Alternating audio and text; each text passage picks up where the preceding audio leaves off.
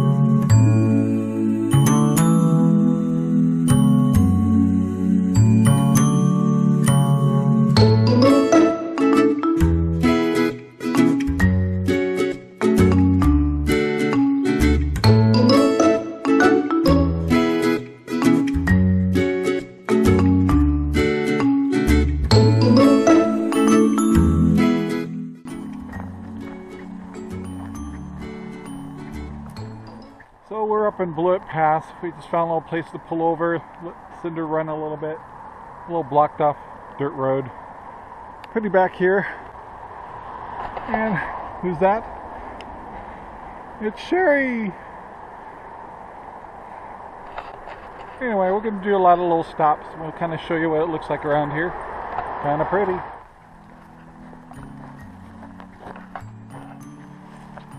Let's go, baby.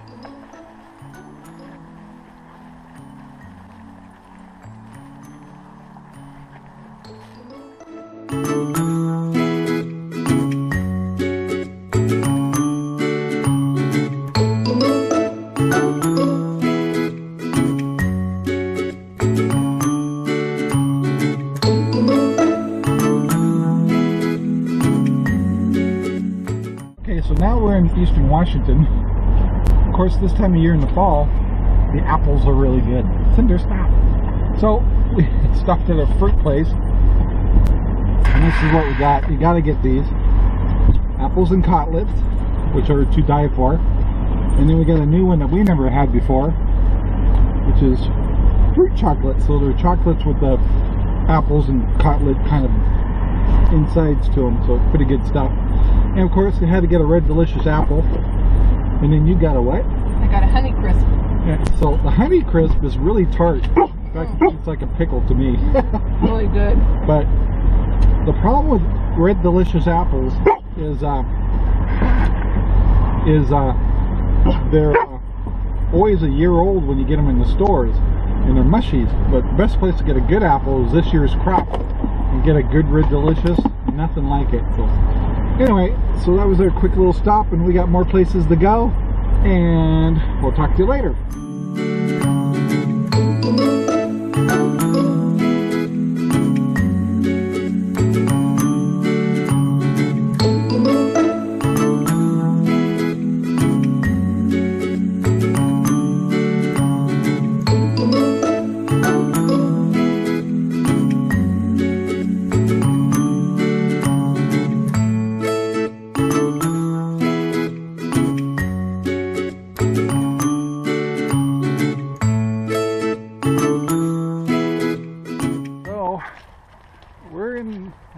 Just outside of town of Editat, No, Antioch. Entiat, uh, which is just above Rocky Reach Dam. And there's a cool little park here, has a boat launch. Let me turn around so you can see what's behind me. That's the Columbia River. And when there's water and boat launches, there's also cinder. So we're gonna go check it out and see if uh, we can let cinder get a little wet, which is chocolate labs like to do. What you got? You got some water. How about that?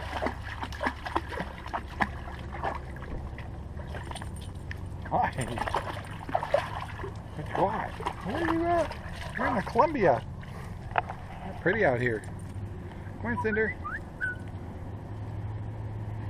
Wow, is it pretty?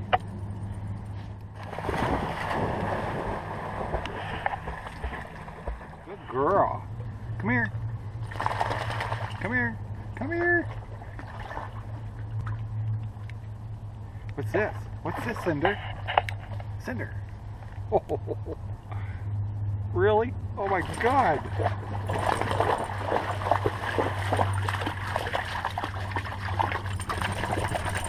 That's my Cinder. Okay, now for the ultimate test with Cinder, we're on a dock. The question is, will she jump? What's this? Cinder, what's this? You ready? Go get it. Go get it. Will she jump? Get it. You can get it. Oh, I think we found a limitation. Get the stick. Gotta get it.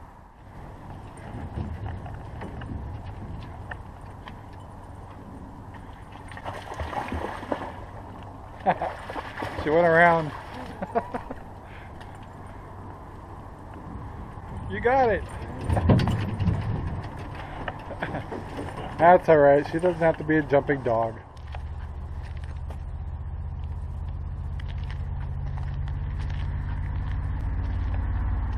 Hi, baby. We are literally alone in this park. I like that. Lonely truck over there. So I run over to the restroom for a minute and come back to the truck, and I find somebody getting into the Aplets and cotlets. Oh my god. So, what are the three different flavors? This is the Aplets. These are the cotlets, and these are cran Aplets, so cranberry. So apples, apricots, and cranberries. Nice. They're really good too. All right. Well, there's another sculpture over here I want to show everybody. So, now is that cool or what?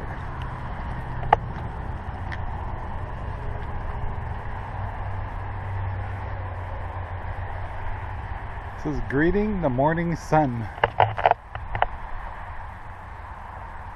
Is that a neat sculpture or what? What a nice park. This park also has campgrounds and RV spots. So this is an old place we used to go hunting across the river called Brewster. Used to hunt that place for years. But gotten older. And the um, the farmers kind of cut off the land. So that kind of harder to go to those places now.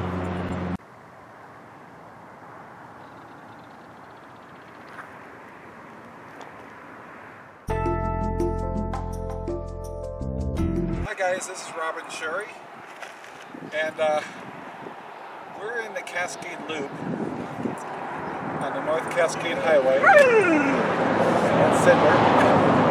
And we started out to make a movie about just going to Eastern Washington, and it's turned out to be a lot more than that. So uh, it's going to be a little longer than we anticipated, but what it does is features the Cascade Loop. Okay, so now we're in uh, Okanogan and we're going to go over the North Cascade Highway. So what's going to happen this time is you saw us go from Evergreens to High Desert. Now we're going to go from High Desert to Evergreens again. So it'll be pine trees and then you'll start seeing the Douglas firs and hemlocks and stuff like that later and then we'll be in Burlington. So enjoy the ride.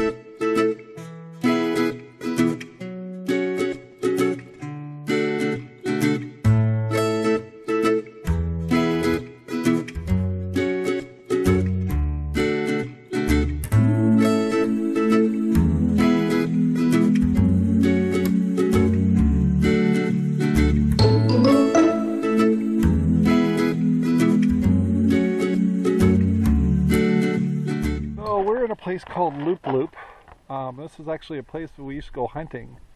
Uh, it's on the Cascade Highway, and uh, the big open spot here that we used to park our trailers at with uh, Sherry's folks, and we used to hunt here with our kids. And it's kind of a good place to stop, let Cinder run around, and we'll let you see a little bit of it. We're going to go into the the woods here a little bit so you can see it. So what's been really sad on this trip is uh, a lot of places that we've been going. Um, the fires this year were terrible. So a lot of our old hunting areas have been burnt down. So uh, it looks like they might have had a little bit of fire around Loup Loup here, but it doesn't seem too devastated compared to some areas. So we haven't been here for 20 years. It's been a long time. something like that. So normally we'd be carrying a rifle and trying to find ourselves the deer.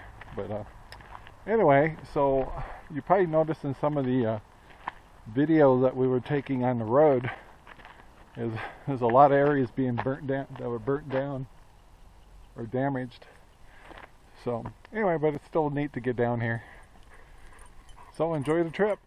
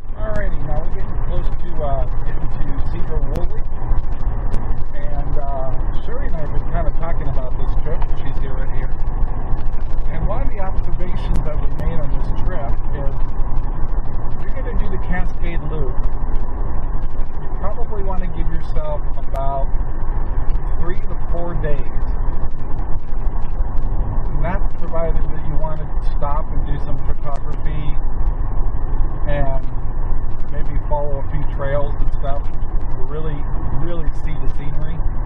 And by the way, in the fall, this is outstanding colors. Oh my gosh. I'd rather do this in the fall than the spring, I think. And it's not as crowded. But Sherry brought up something that kind of important. Is we're talking about how much time what what did you what were you saying? Well, if you wanted to do the any of the tours of like Ross Dam or Ross Lake, and, or stop and just really enjoy some of the areas, it would be very difficult to do it in two days. Because we've done it in the two days, but it's been um, pretty much stop and go the whole time. Not any time to really kick back and relax. Yeah, I, uh, I have to agree. There's a couple of places where there's some tours, there's some things that we would have liked to you know, spend two or three hours to, uh, to go on some little tours, and it's just not going to happen on a two or three day drive. So if you really, really want to do the Cascade Loop, we highly recommend giving yourself time. Do a little homework first because there's uh, like Winthrop. We just drove right through it, but that Cute town. cute town, very cute town, and uh, that's a place where you want to stop and probably spend an hour or two just going through the gift shops and stuff. So, anyway, I hope our tour of uh, the Cascade Loop was good for you. We only did it in two days, so it was a lot of driving. So you can kind of tell that with the video. And we did, you know, I'll do the best I can here to keep it not a long video, but the colors, the fall colors, wouldn't you agree? It was it was very pretty. I I'm really glad we did it, and I'm glad we did it in the fall. Definitely.